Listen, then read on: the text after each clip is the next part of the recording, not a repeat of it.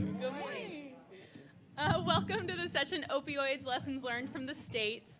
I'm Kate Blackman. I am in NCSL's health program in Denver. Um, and I want to do uh, just a couple short things, uh, reminders for you all. So I did want to make sure that everyone here knew that this is uh, this session is a collaboration between NCSL's Health and Human Services program. And um, we, like many of you in your states, NCSL is really working on opioid-related policy from all angles. So from health, human services, criminal justice, employment and labor, education, um, we are tackling it similarly to the way that you are. And so I wanted to make sure for our members, for legislators and legislative staff, that you all know that we're here to support you um, we have numerous web-based resources which are in the resources um, for your app for this session, and we're also available for any kind of research requests, other technical assistance, presentations in your states and things. So um, thank you. I'm usually quite loud, so. Um, so I just wanted to make sure you all knew, and I'm going to have some of the NCSL staff in the room who work on opioids raise their hands so you can see them. They're all lurking around the back. Um, but please feel free to connect with any of us if there's anything that we can do for you. Another uh, just couple housekeeping things. We are being live streamed. I'm going to call that out now. So when you get the mic, if you're asking a question, we would love for you to introduce yourself both for the audience here in the room and for the audience at home. And be careful what you say. Uh, and um, also, this session was originally listed for CLE credit and it's been removed. And if there's any confusion about that, we apologize. Um, depending on your, the requirements in your state, you may still be able to get CLE credit, but uh, Megan in the back is happy to help you with that if that would be useful. So eh, I'm going to turn it over to our wonderful folks here in a moment. But I do just want to um, let you know that today we're really thrilled to be the four panelists that we have are part of our inaugural Opioid Policy Fellows program, which was a program that we did this year with support from the Centers for Disease Control and Prevention. And it's uh, based on a model that was pioneered by NCSL's Early Learning Fellows, and I bet we have some alums in the room. Uh, but it's a model that we do uh, now in a few different policy areas at NCSL, where we're able to really have a, a small group of legislators and legislative staff take a deep dive into a specific policy area through in-person meetings and virtual meetings and really delve into kind of the evidence behind various policies as well as share ideas across their states, new ideas, things that are working, challenges, and successes. Um, so we're thrilled to have four of those folks here with us. Um, and also Representative Singer is going to moderate our panel. Representative Jonathan Singer from Colorado also sits on um, Colorado's Opioid Interim Study Committee, in addition to many other hats that he wears in Colorado and here with NCSL. So thank you all for joining us this morning. Uh, we look forward to a great conversation where we can really dive into this with our panelists and with you all.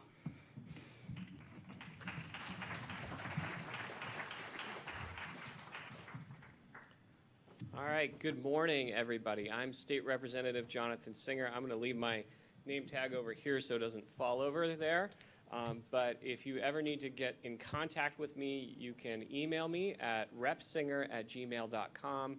If you talk into Siri or Google Now, it will say Rap Singer. Thankfully, that will bounce back, but I'm sure now that this has been live streamed, someone will have taken that domain name. Uh, but if you email me at repsinger at gmail.com, please don't hesitate to reach out to us in Colorado.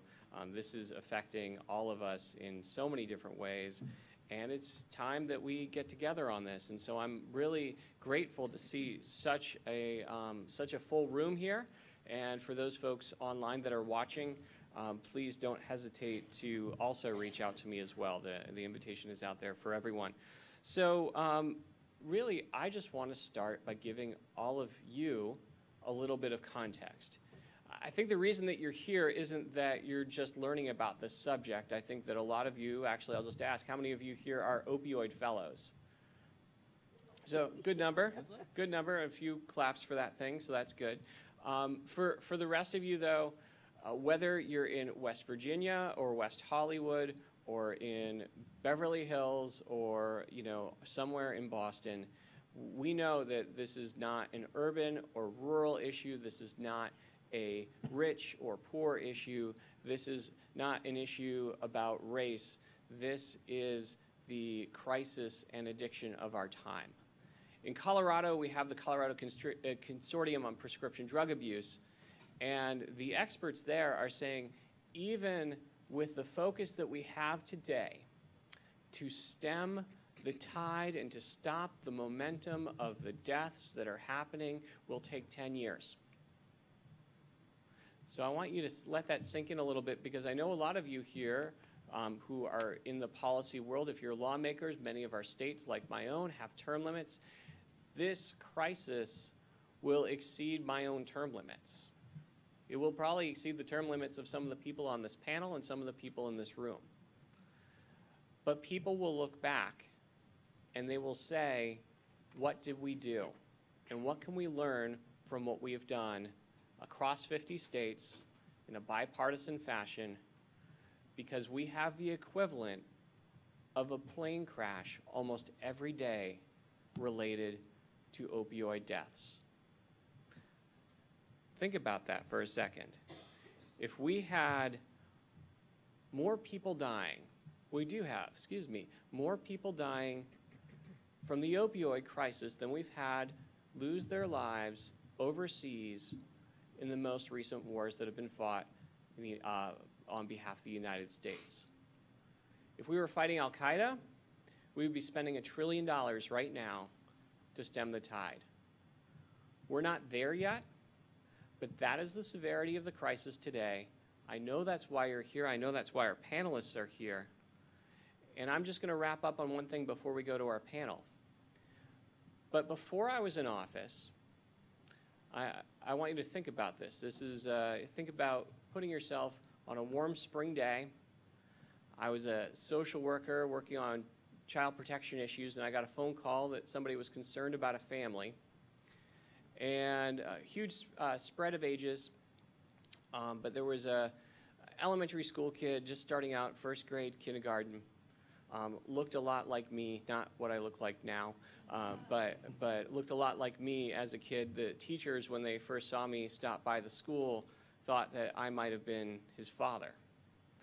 And you know, I introduced myself, showed them my badge, let them know why I was there, and uh, then proceeded to do a home visit.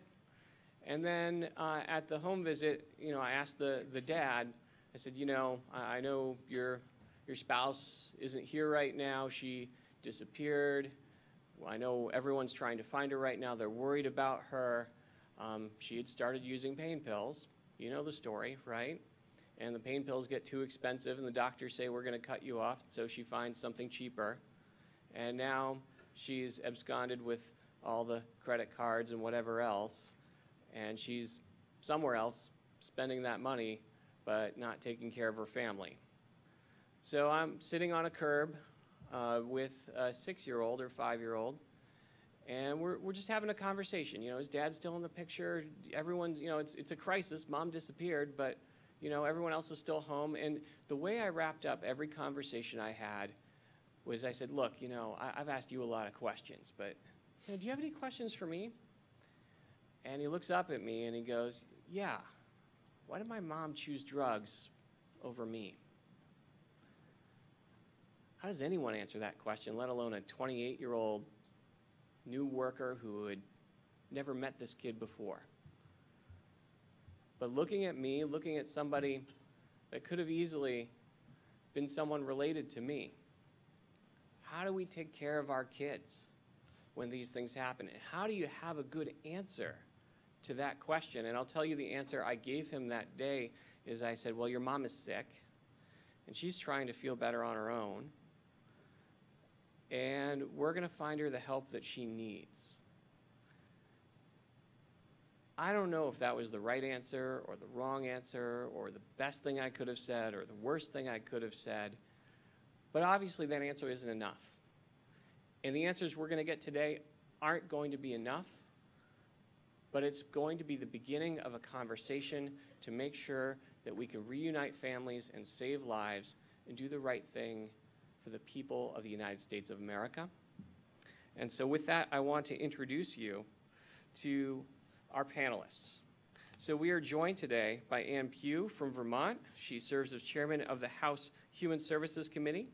We have Assemblyman Mike Sprinkle, who is Majority Whip and Chair of the Assembly Committee on Health and Human Services in Nevada, and Senator Judy Lee, who is also one of our panelists and Chair of the State uh, Senate Committee on Human Services in North Dakota, and finally, uh, Senator David Wilson in Alaska, who is Chair of the Senate Health and Social Services Committee. Now, are all of you opioid fellows as well? Yes. Okay, all right, well, um, then I'm going to learn something from you because I was not able to join that, uh, that fellowship. Now it's sounding like Lord of the Rings.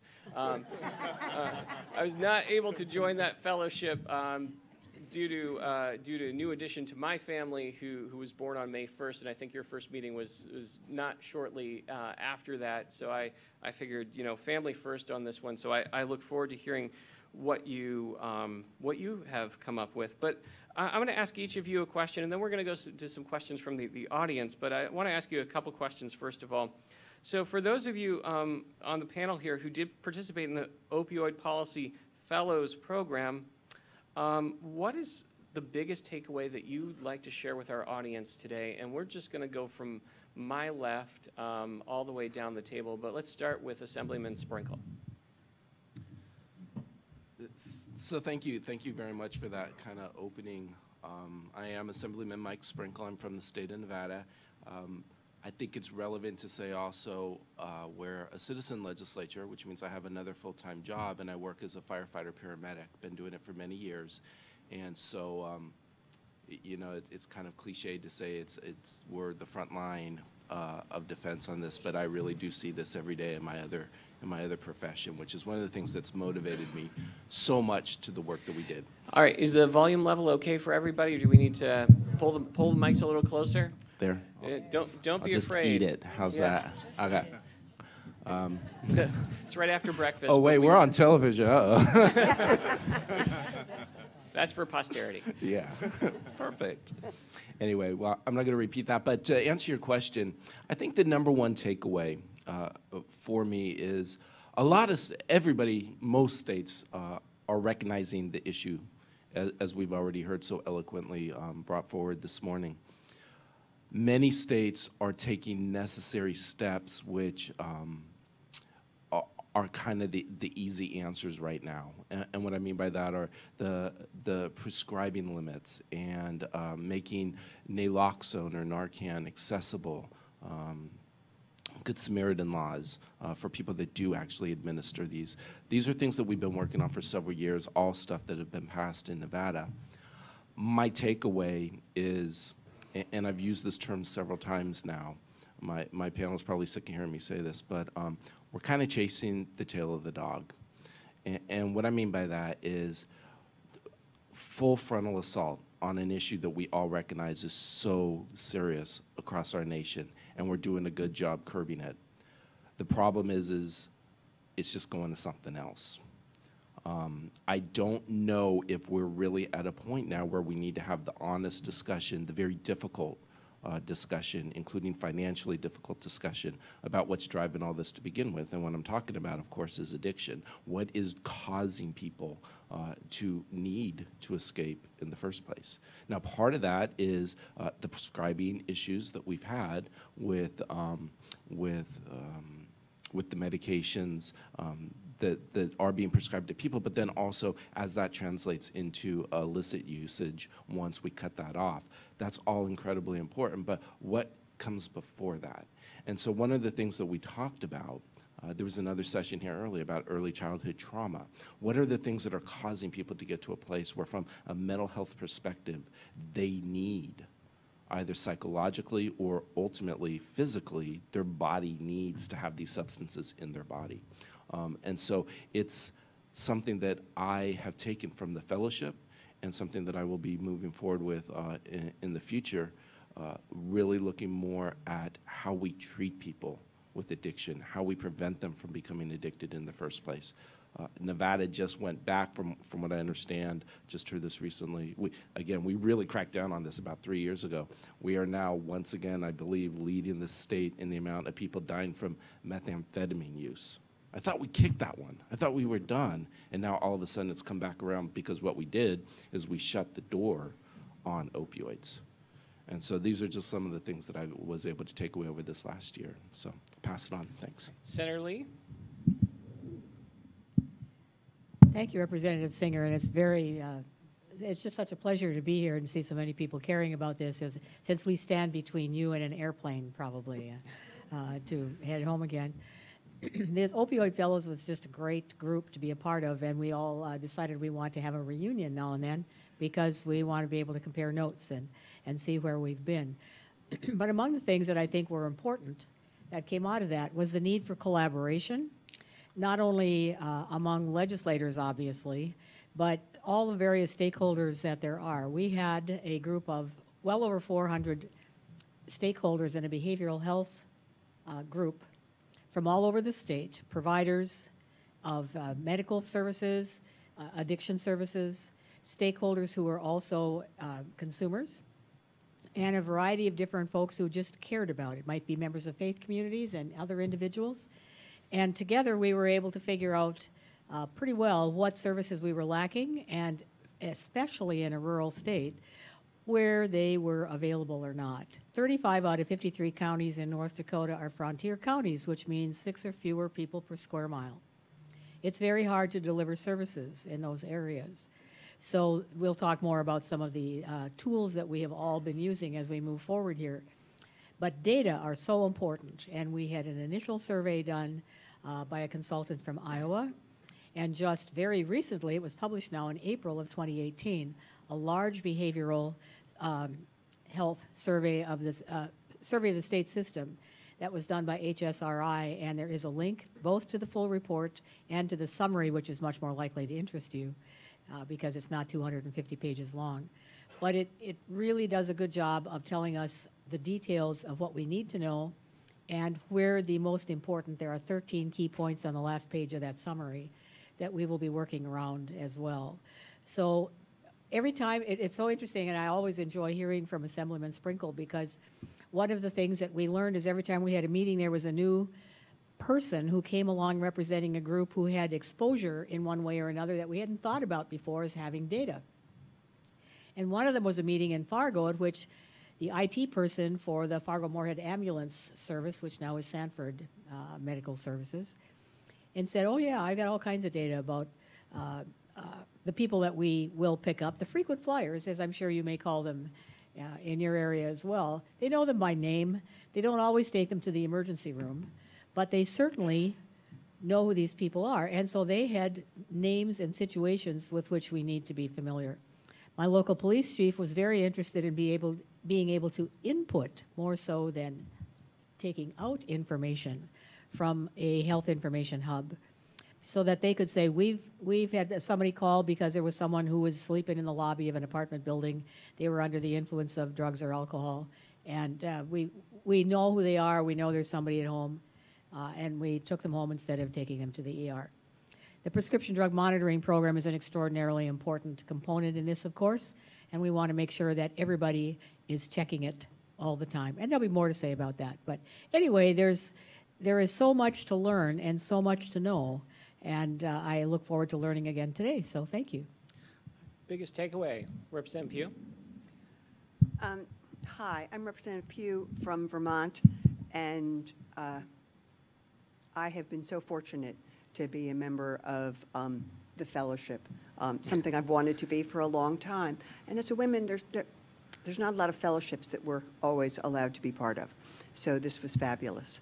Uh, I want to say the largest takeaway that I uh, came away from this um, participating in the opioid fellowship uh, was one, we're not alone. Uh, Vermont is um, often identified as a leader in the fight because of our hub and spoke model and because we've had a methadone clinic since 2002 and I've been working on this issue for a long time. We don't have term limits. Um, and what I really took away from here, and uh, Assemblyman um, Sprinkle, you, from my point of view, um, put the put your finger on it, which is we're we focused on I want to say harm reduction. We focused on um, intervention, prevention. What is it that is um, causing so many people to be so unhappy that they, um, and so unattached to others that they in fact move uh, and are wrestling with addiction. And so one of the large takeaways that I took away from the opioid fellowship was the fact that this really is a four-prong approach. Um, we really, yes, we need prevention. Yes, we need um, intervention and treatment, and then finally recovery and focusing on people being able to continue um, their life in a healthy way. Um, like all of us here, we bring our own um, stories or our own background to this. I am a social worker. I now teach um, at the University of Vermont. Like Nebraska, we're very much a uh, citizen legislature, and I bring um, the stories that I worked with as a social worker, as well as the stories that the students bring to me who were in their field placements. Um, You will hear more from, I think, all of us, um, and we're here to answer your questions about specific aspects. All right, last but not least, but we'll keep the microphone over there for the, for the next question that, that um, uh, we'll ask, so, but we'll keep you in suspense as to what that is, Senator Wilson. But biggest takeaway uh, for, uh, from the uh, fellow program that you participated in? Yes, and thanks, uh, Rep. Singer, for that wonderful imagery of now Lord of the Rings stuck in my head as we go through the fellowship. I'm the wizard. So, you know, one of the greatest things we learned from coming from the state of Alaska, we're a very vast state. We reach from Florida to California as the size of our uh, of our state, and that along with Rep, uh, Representative Pugh, that we're not alone in dealing with this issue. You know, the po- the policy experts that NCSL brought us, um, the networking capabilities that that brought us was incredible. And one of the things that was greatest for me was that as legislators, we're always looking at, you know, the data, what's best practice, what's been evidence-based, but we need to move beyond that to sort of the promising practices, what's been emerging. This is an epidemic that has been growing and constantly changing from sort of the prescription-based opioids to sort of the um, street heroin, now the carfentanil and fentanyl type base. So we need to start adapting and looking at ways to, uh, to address these uh, items. And uh, you know, looking also, um, and I'll leave with this because I know we're going to talk a little bit more about what our states are doing and what we have done and what we're continuing to base upon. But one of my greatest quotes from the Opioid Fellows and um, is that uh, common sense is not a flower grown in everyone's garden. So just, I did. I stole that, but it was. Well, as they say, well, we're going to Nashville next year where, you know, we know, talk about musicians and, you know, good artists borrow, borrow great artists steal. So, um, so, so with, uh, with that, uh, we're gonna, we're gonna stick with you and go back down the line. So as policymakers, uh, one of the things that we, we look for is, you know, we all basically agree, yes, there's a problem. Uh, yes, we need to create, uh, find new answers to this. So um, one of the things that, that I do at the legislature is I look for the low-hanging fruit. I like to see where we can find the most consensus, start there, and then build some momentum, see how far we can get. Um, so in this, out of this crisis, were, were there bills or policy proposals or rulemaking sessions or things done within either the legislative um, uh, within the legislative context or otherwise that were low-hanging fruit that you just got out of the gate, you got it done, and something that you want to share with uh, the rest of the audience here today to say, you know what, take a stab at this first because you're gonna, you, your chances of success are going to be pretty good. Yes. Um, so in Alaska, we, our governor first uh, sort of done a, um, an emergency order to help distribute our chief medical officer to distribute naloxone.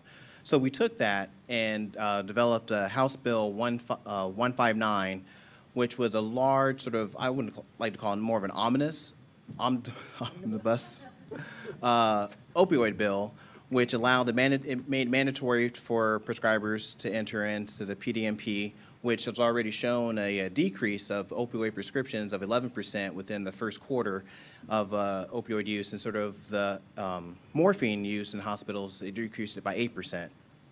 And that created the standing order for our chief medical officer to continue to issue out naloxone or Narcan for some folks.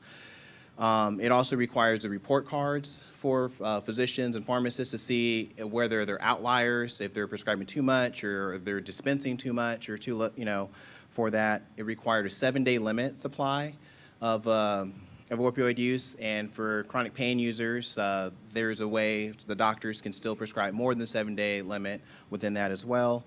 Um, most importantly, I think that it adds a sort of a non-opioid directive, so it allows uh, patients to put in their medical records that they choose not to have uh, opioid um, to be pres- prescribed opioids. And out of this became the sort of network through our ERs, have um, our major ERs, hospitals, have created this compact where they're all agreed to start from the least sort of uh, use of uh, pain, um, sort of for pain management, and to increase that as needed. And so that created sort of a partnership through this collaborative of, uh, of ER physicians.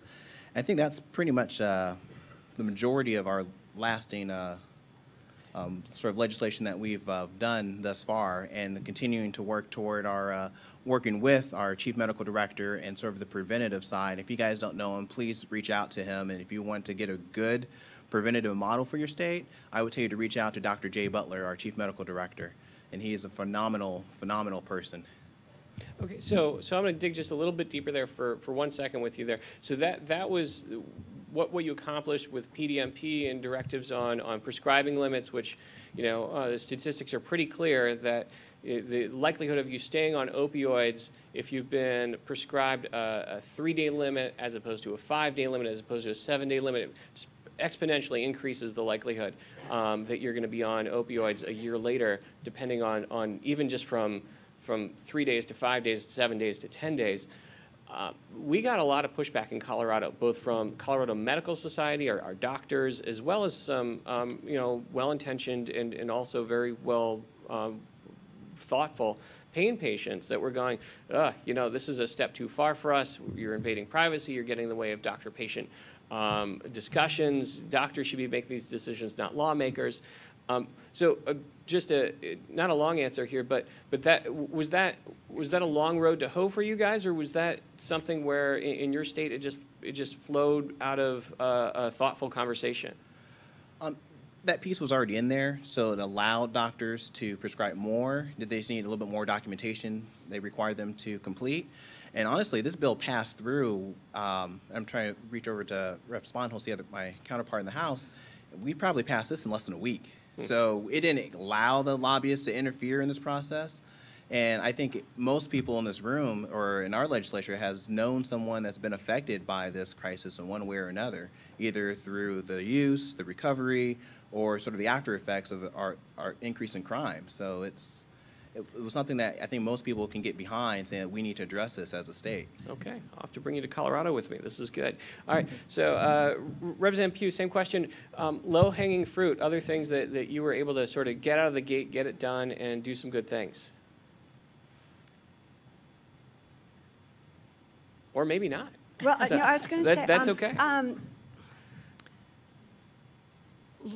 There's, there was some low-hanging fruit, believe it or not. It was um, uh, making naloxone available um, to everyone um, across the state. Uh, Our medical director has a standing prescription, um, so anyone can go to a pharmacy, and there are uh, uh, places um, across the state where anyone can um, have naloxone um, and carry it. I, in fact, have some in my office, and so do many people.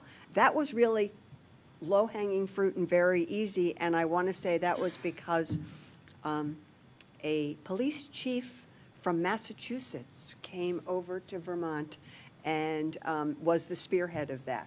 And so this was not a health issue. This was not, this was um, perhaps what one might say, um, not the usual suspect uh, in terms of moving something forward. Uh, That was quick. There was little controversy. Um, That said, we've been working on um, opioid issues in terms of a timeline focused on it since 2002. Um, And to say that there's a quick fix and to say that the legislation um, or the policy directives are going to be quick and easy, um, I think is potentially to put forth a, um, a false hope. Um, This takes work. We, our prescription monitoring system First of all, we had a fight with the governor in terms of who could have access to it. So that took a little, we had to take a little timeline, a little- breath for a year or two. Um, But we also had um, our former uh, Governor Shumlin um, on his first, um, his State of the State, he identified, and he was the, at the time, uh, the first governor to uh, speak publicly and have that be the focus of his State of the State and say, this is what Vermont is going to focus on uh, in terms, in terms of that. Um, So in terms of low-hanging fruit, I would say, um, in some respects, it were, it was things related more to um, the judicial aspects as opposed to um, health and welfare, the Good Samaritan law. Um, Because we heard from uh, EMTs and from police officers that they would, and, and, and from our 911, that they would get calls. And the police or um, EMTs would go out, and there would be someone lying, um, oftentimes um, dead, with their license um, on their, um, on their chest, so that people knew, and whoever called wasn't there. And we want someone to be there when someone is struggling or when someone is near death. Um, And so to have them be a good Samaritan. So some of those things passed easily.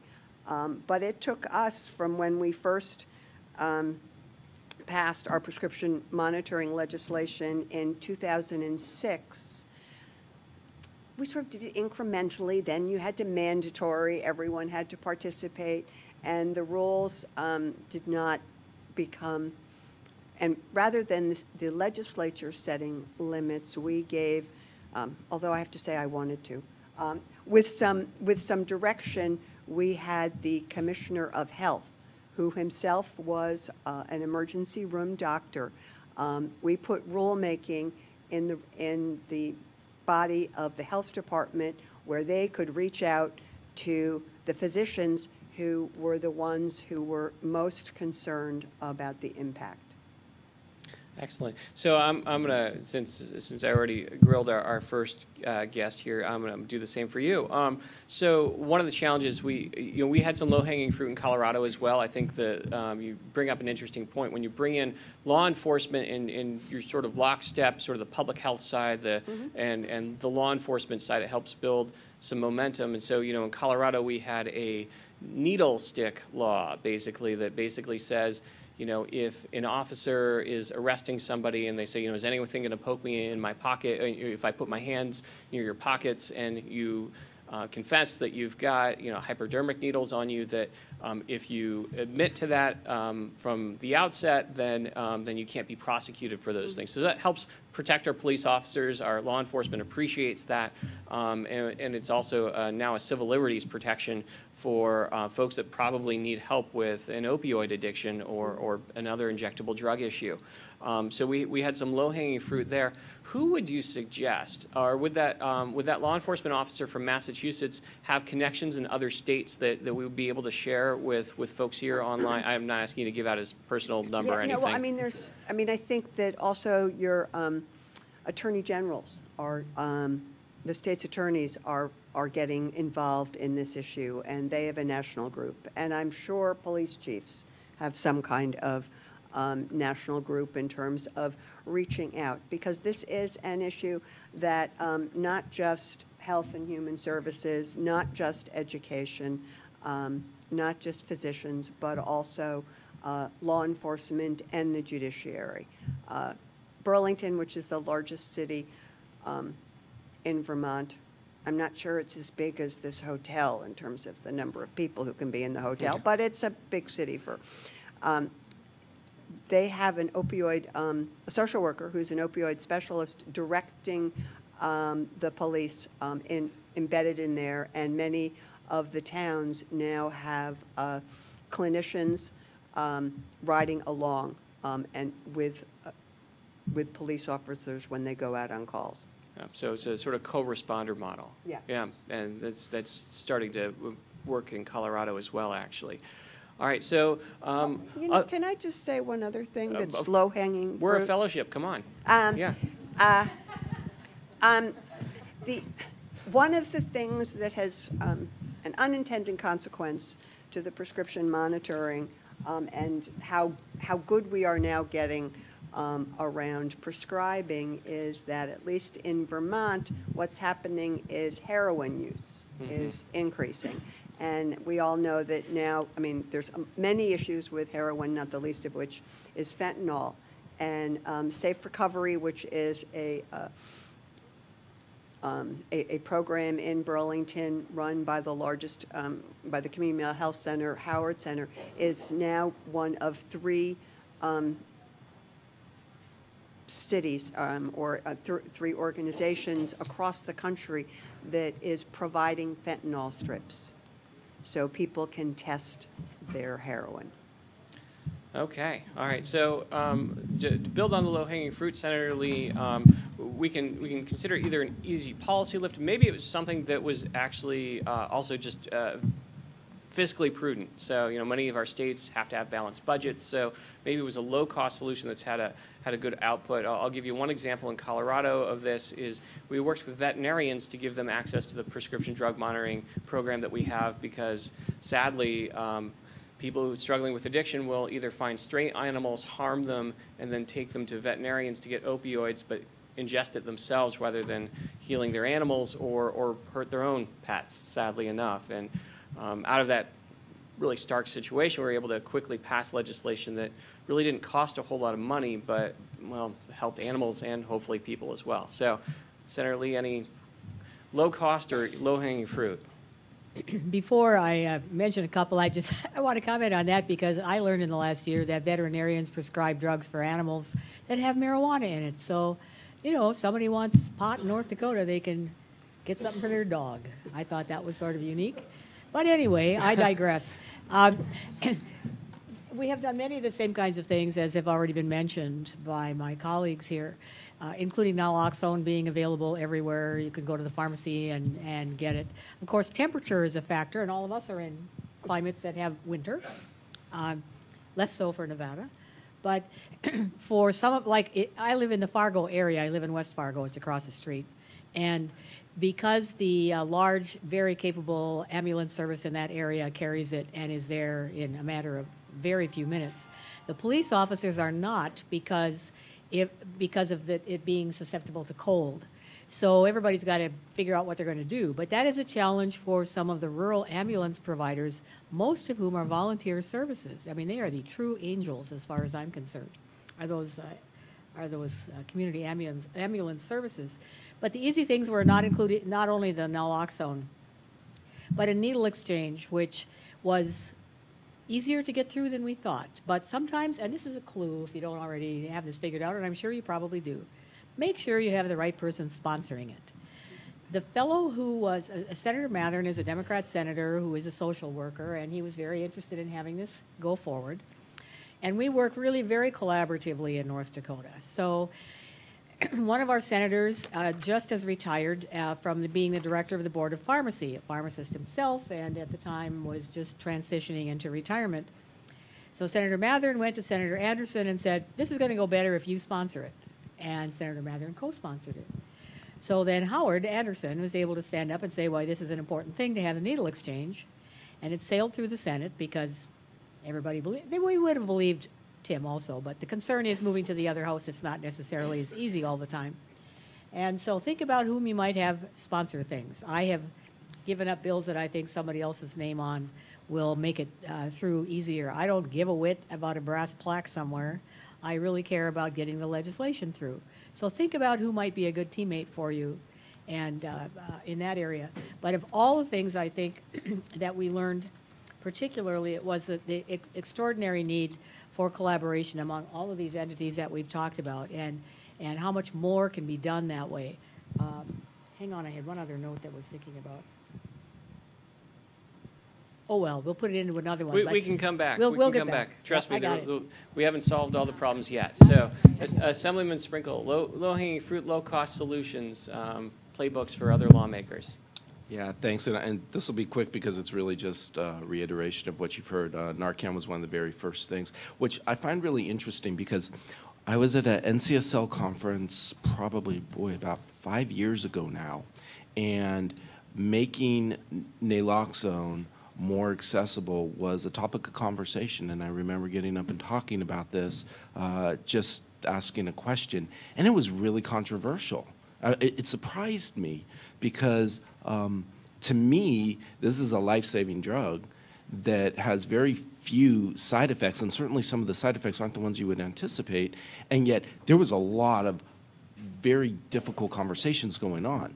Since then, as you've just heard, it's evolved to this is the low hanging fruit. This is kind of like that minimum standard.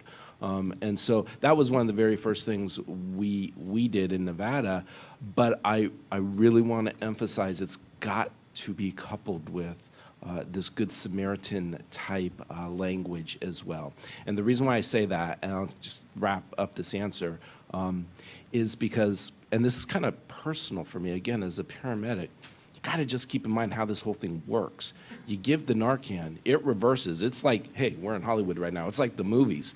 You have somebody that's literally dead, and within a matter of seconds, they're breathing and talking to you again. It's that quick. It's amazing.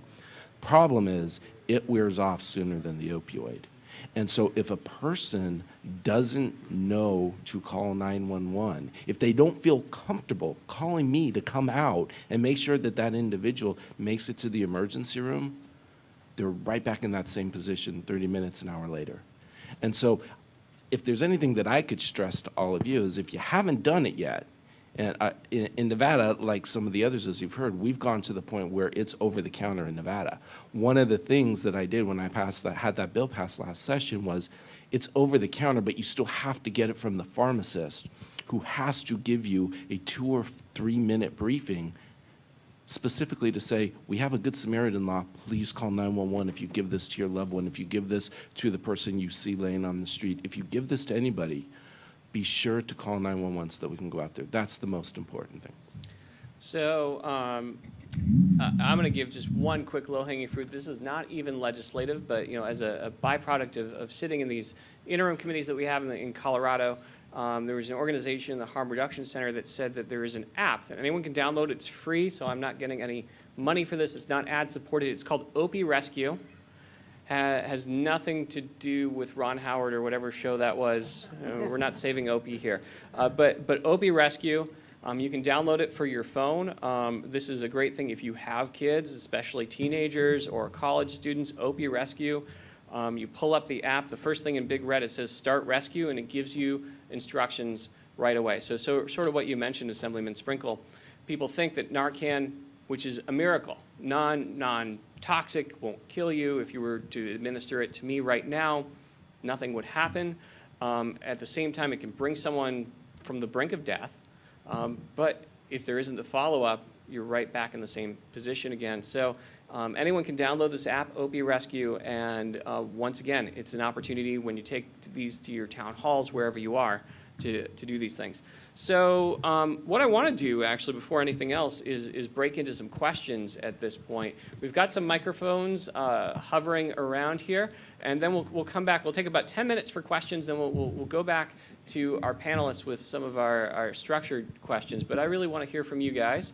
Um, and uh, please uh, introduce yourself. Let us know um, whether you're staff, whether you're a legislator, what state you're from, um, or make something up since this will be live streamed for posterity. Um, and then if you want to direct your question to uh, an individual panelist or set of panelists, let us know um, who you'd like to have answer that question, and we'll field it from there. So, Okay, I'm um, Representative Mary Mushinsky from Connecticut. My little town of Wallingford has only 45,000 people, but we had 15 deaths last year, mostly young people. And our, it's been going up every year. And uh, we've done all the low-hanging fruit stuff already. But what I'm very interested in, you had one slide up there, and maybe you could talk on it, the increasing the preventive strengths and decreasing the risks that's what I'm very interested in because I, I want to turn this curve. I don't want to see the this year's numbers be 20 and next year's numbers be 25. I want to strengthen the preventive aspects to, for the young people to protect themselves, and I want to reduce the risk aspects. So, can you please elaborate on that? Which ones do we strengthen? Which ones are risks that we should reduce? and, and I'm assuming you mean this not just in, in the context of opioids, but sort of substance use and misuse in general. Right. So, all right, who, who would like to talk about prevention methods? I know one of the things that we tried to do in Colorado is we tried to, uh, well, I'll give you one success, one quick success and one quick um, failure. That way, um, you'll give me some good ideas here. So the quick, the quick success is we invested more in school counseling programs and after-school programs. We didn't even talk about drugs in these after-school programs, but you give our youth something to do, and there's a, a less likelihood that we'll end up into those idle hand situations. On the flip side, we had a bill that would have reduced um, certain liability issues related to schools carrying Narcan. Um, so more schools would be able to use their own resources to have uh, the opioid reversal agent um, available. So if students or teachers or staff or parents were to OD on campus, we could save lives. That that bill was still killed. So um, so I'm just going to go from my left and down down the line again. But Assemblyman Sprinkle. Yeah, thanks. And I really appreciate that question because I think part of it really does get to the heart of this. Specific to the prescribing, the prescription part, which is, I think, what uh, drove a lot of this, at least in Nevada. We had some really just horrific stories um, about uh, overprescribing.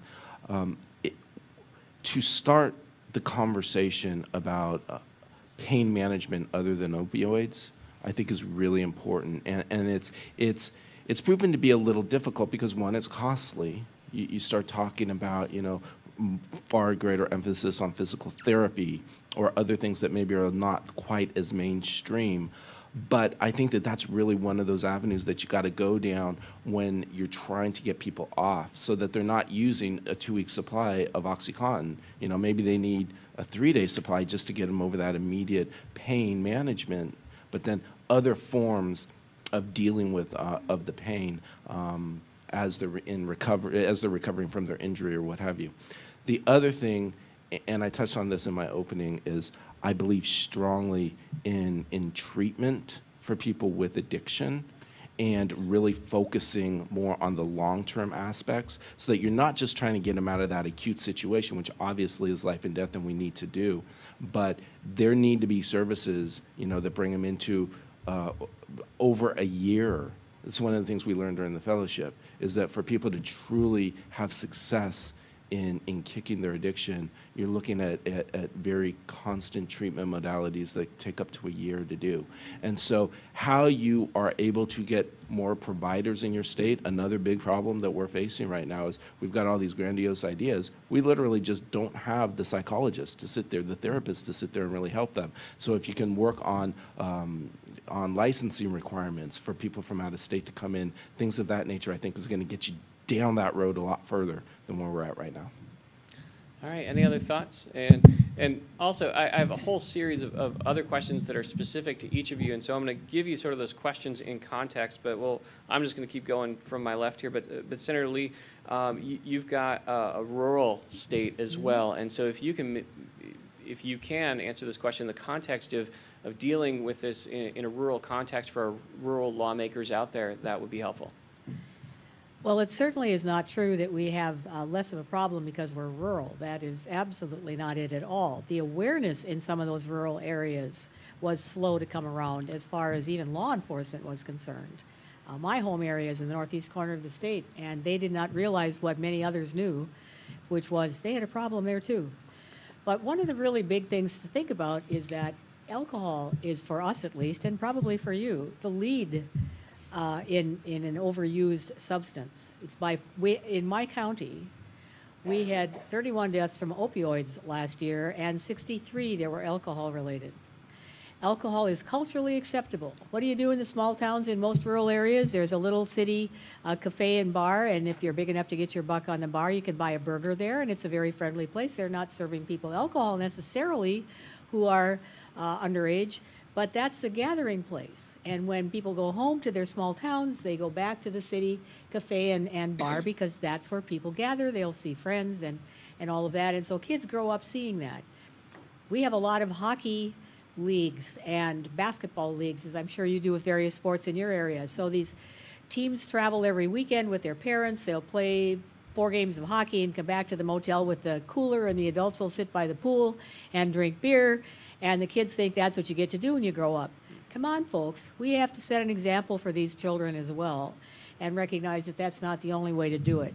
because alcohol truly is the gateway, at least in our area, and I think if you look at the whole substance use disorder picture, you'll find that it is for you as well. Meth is second, and we've had a resurgence, a resurgence, as you talked about. 50% of the uh, babies born to uh, mothers on the Standing Rock Indian Reservation are born to meth-addicted mothers, over 50%. And there are special challenges that, and we don't, just don't have time to go into all of that, but special challenges in dealing with uh, programs for the tribes, not because they don't have issues, but because they're all sovereign, and we have six tribes and four reservations, and each of them is like a separate foreign country. I'm not being facetious, I'm saying that's the way the relationships are developed, and you have to recognize, we can't come and say, I'm here from the North Dakota government and I'm here to help you, because, oh, that, that doesn't really work. Workforce is huge for us, especially in the rural areas.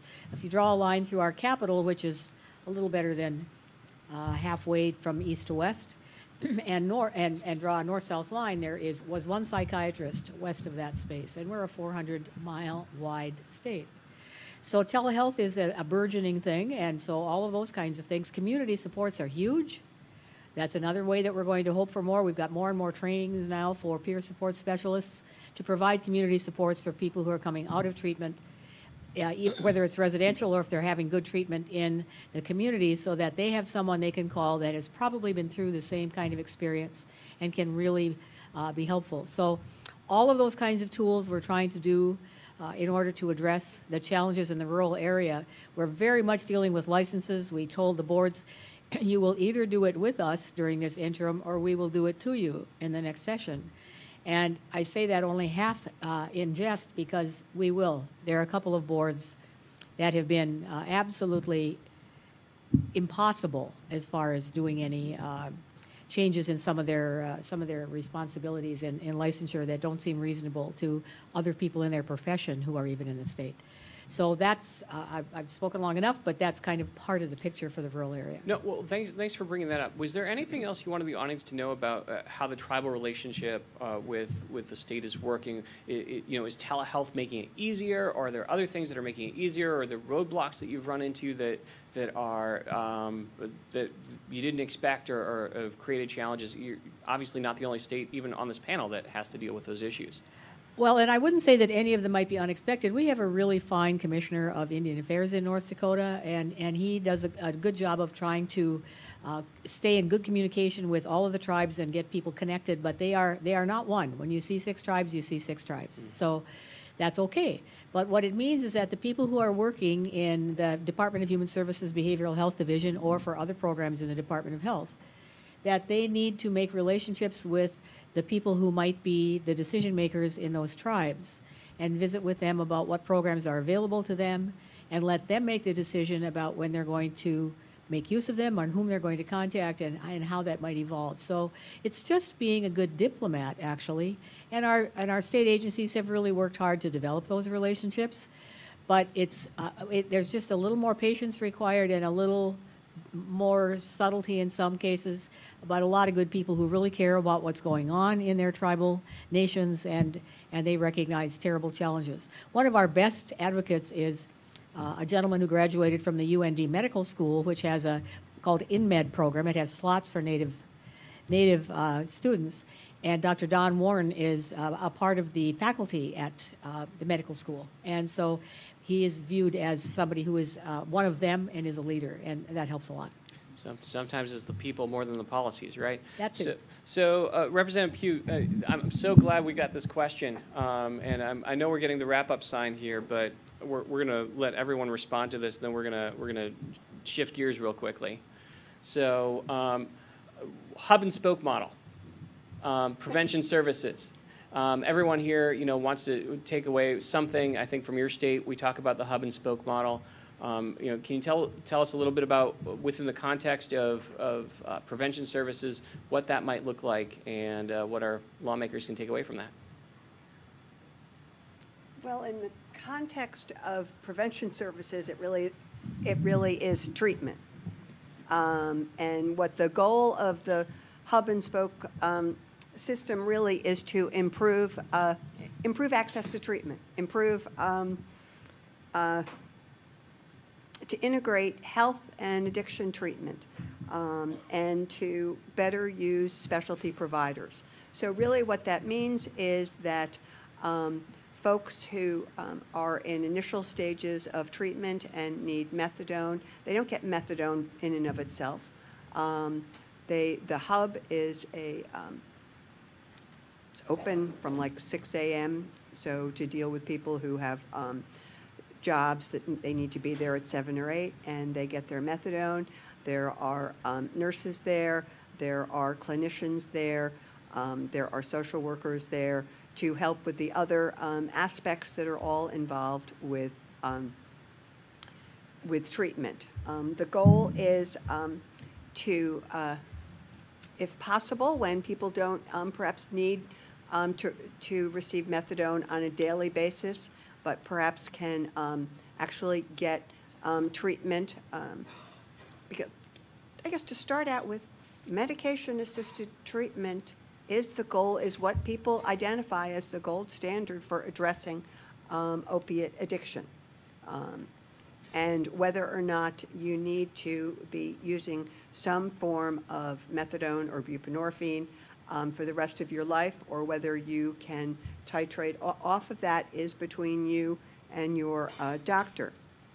But so um, the spoke um, are data are um, data waived um, physicians. So in your local um, physician's office, where patients can uh, get their uh, Suboxone or their buprenorphine, and at the same time, the spoke the, these physicians have on staff uh, social workers and other clinicians to assist the uh, the person with the addiction um, for, for the other issues that they're involved. And um, that's really been helpful because we want people to be connected to their physician for everything. And um, somehow going to your physician rather than going to a methadone clinic is easier for a lot of people. And so this really, the um, hubs provide consultation um, to the spokes, and it ma- makes uh, access to medication-assisted treatment much more available across the state. So Senator Wilson, um, um, just to um, give you a little uh, context, you are a uh, Fellows Fellow, uh, having been a, a participant in the Early uh, Learning Fellows Program, the Child Welfare Fellows Program, and now the Opioid Fellows Program. Um, within the context of the question that, that was asked about prevention services, obviously early learning, child welfare, uh, huge on looking at prevention services. Any any thoughts on uh, the intersection of the, each of those three different fellow programs and um, and where we might be able to go in prevention services? Yeah. So this is just not the impact on the opioid user. It's a system-wide impact. We had to look at the impact of the trauma, the social welfare, emotion development of children on the welfare system, on the child welfare system. Those office, those caseworkers need to understand the science of addiction, that opioid users, opioid, the opioid changes the brain chemistry different than other substances. Understanding that sometimes your users, in terms of reunification, may need to go back to, uh, they may relapse, and that's just not a term or issue to terminate that. So that type of education and so our state created sort of the Office of Misuse and Addiction Prevention to look at more of a system-wide approach for prevention, for the treatment, and for funding opportunities. And this is headed up by uh, Andy Jones. Um, and so with that, they look at different areas of of uh, different policies. You have the Children Abuse Prevention Treatment Act, which doesn't go through sort of the health department, but goes through more of our child welfare system. So looking at ways to coordinate those systems and to set up a system that just doesn't create just for opioid, but having a system to create for all substances. We heard that maybe meth may come back in the next couple years in our state, or cocaine, or have some huge other new synthetic drug, pink, or something else that comes up through our state, and creating a system-wide approach that the next epidemic, we're ready and, and able to have a system set up to respond, so we don't have to wait 10 years to address this issue uh, for the next uh, epidemic. Because I think that was the most uh, appropriate uh, thing that our state could have done is trying to look at this the, as a more of a how can we be ready for the next uh, system and create prevention opportunities for this. And I think our on our state website lays out a lot of the prevention models and sort of a pyramid of the base steps of how we're handling prevention on that website. I'm going to say something before you tell me to stop. Um, uh, One, I think I'm probably speaking to the choir when I say I'm sure that everyone here understands and knows that addiction is not a choice and addiction is not a moral failing. And so when we're talking about prevention, we got to figure out, okay, what is driving people towards addiction? And what, is it physical pain? Is it psychological pain? Is it a feeling of helplessness and hopelessness? Um, and, and is it to, to um, reduce um, or deal with stress, whether it's to- toxic stress, whether it's adverse childhood events, all those kinds of things. And when we're talking about prevention, and the original question I think had to do with um, youth, we can't just focus on youth. We need to focus on their parents. We need to connect all of the systems. So we need to focus on the parents. And I might say if people feel hopeless and helpless and they have no job out there, or their job out there doesn't pay a livable wage, or where, or where they don't have health insurance, or they don't have the time from their job to be able to go to treatment, those are other things that we can do to, to both prevent um, as well as to, um, to deal with addiction. Um, and then there's this wonderful article about Iceland that had this huge um, um, addiction problem with their youth, and they put um, a whole thing around after school and connections. All right, field trip to Iceland, everyone. All right, we got a question over here in about five minutes, so please don't take all five minutes for your question. Okay. Hi, I'm State Representative Theresa Mah from Illinois. I represent a district in Chicago. Uh, a couple of years ago, I worked on the Acupuncture Practice Act in our state, and I became aware of a protocol uh, for the treatment of pain and addiction called the NADA protocol. And it struck me as potentially, you know, very promising, you know, as low-hanging fruit and low-cost treatment for addiction and and um, and pain management. Um, but I'm wondering, you know, how can we um, encourage the widespread adoption of something like that, you know, which is considered an alternative therapy. It's not accepted everywhere, and you know, just for alternative therapies in general, um, like you know, physical therapy, chiropractor. Uh, you know, naturopathy, all these different modalities, you know, have there been efforts to, um, you know, get more widespread acceptance of, of those modalities for pain treatment and addiction and, and to address the opioid issue in general? No, it's, it's a great question, and I'll just tell you, in Colorado, one of the biggest struggles, although we do uh, have passed a bill on auricular detox um, with uh, acupuncture, one of the biggest struggles we probably have had is this issue of copay parity. So if I go see a physician, I can get, well, now only seven-day supply of opioids, but if I want to see a physical therapist, um, or I want to see a chiropractor, or if I want to see an occupational therapist, the copay is going to be two or three or four times as much. So a huge challenge in Colorado. Any any quick responses? Not everyone has to answer. I'd rather get to, to questions here, but if you've got a good answer on this one. Um, A quick response might be to, um, which is what we are trying to do in Vermont, is we uh, required a, a pilot project or a study out of our Medicaid department. Um, And then you have data to, um, to show the insurance companies that in fact it is cost-effective and it saves lives.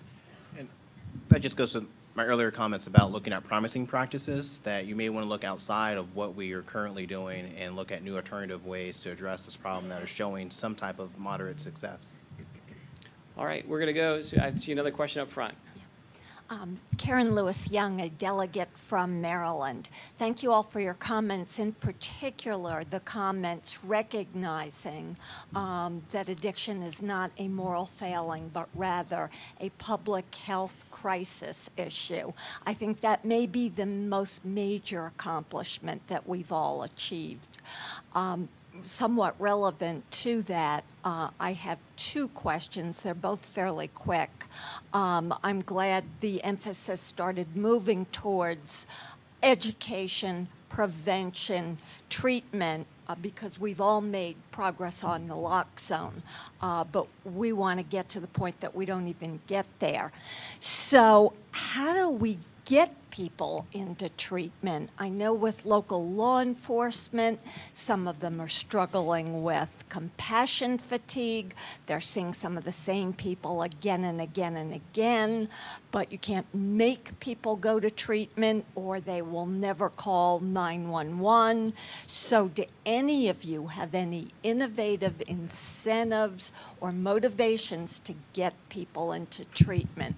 And then my other question, which might be more directed towards you, is um, marijuana. Uh, there was a New England Journal of Medicine uh, article that claimed that states with robust medical marijuana were seeing a 25% decrease in uh, in uh, overdoses, and I want to know if anyone's had any experience or observed any statistics on how recreational marijuana may have affected that.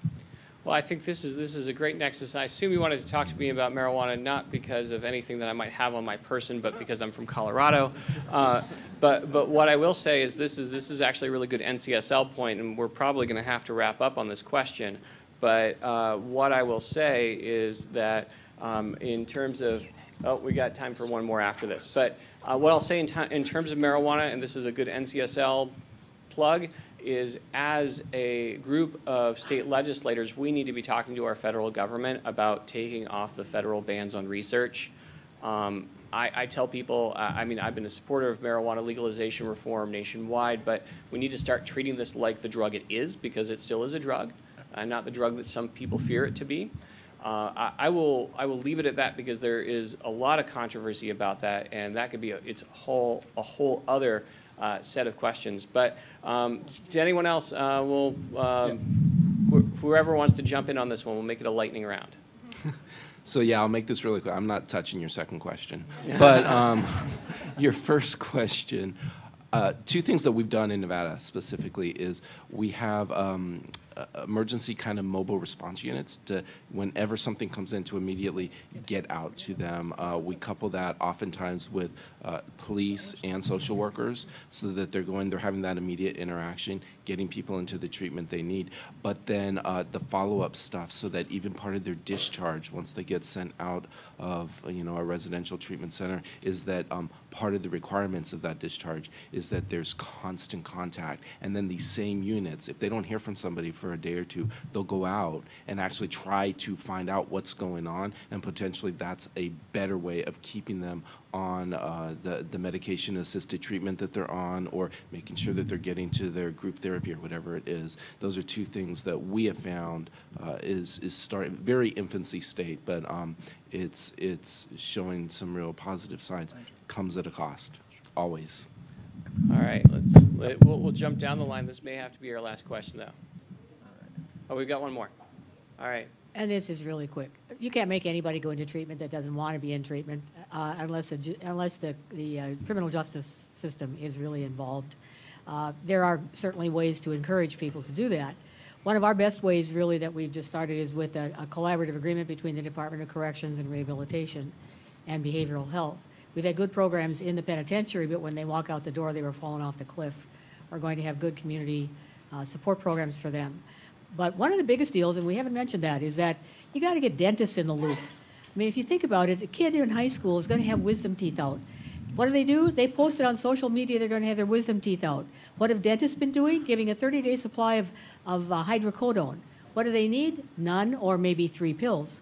So you got to get the dentists on the PDMP, and you got to get them to realize that they have a role to play in this as well because they're subject to uh, theft, they're subject to sale, and the kids, not because they're even depressed, will say, "Hey, this is a prescription drug. I hear it's kind of cool. Maybe I ought to give it a try." So include them too. All right, any quick responses from either of our two panelists on the end, or should we go straight to this question here? Organizations that will give out um, clean needles, and they're safe, and they keep going, and while they're getting their clean needle, they may form a relationship, and then they can go to, um, they're, they're more ready for that. All right, let's, before we go to Senator Wilson, we'll let you answer two questions at once by getting a question out from the back here. Thank you. Pat Long, New Hampshire State Rep from the New Hampshire State Rep. Uh, I, I'm wondering if the conversation, uh, if there is a conversation on what's, in my opinion, treatment is planting the seed.